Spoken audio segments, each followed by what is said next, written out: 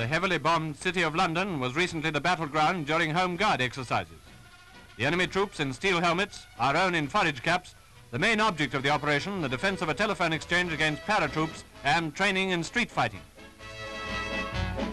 Large numbers took part and many lessons were learnt from the battle which was carried out with the greatest keenness by LMS and GPO Home Guard units.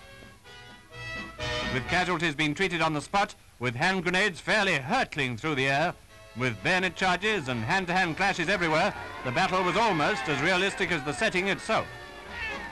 All the same, if the Nazis do reach this country, the Home Guard will play a big part in their destruction.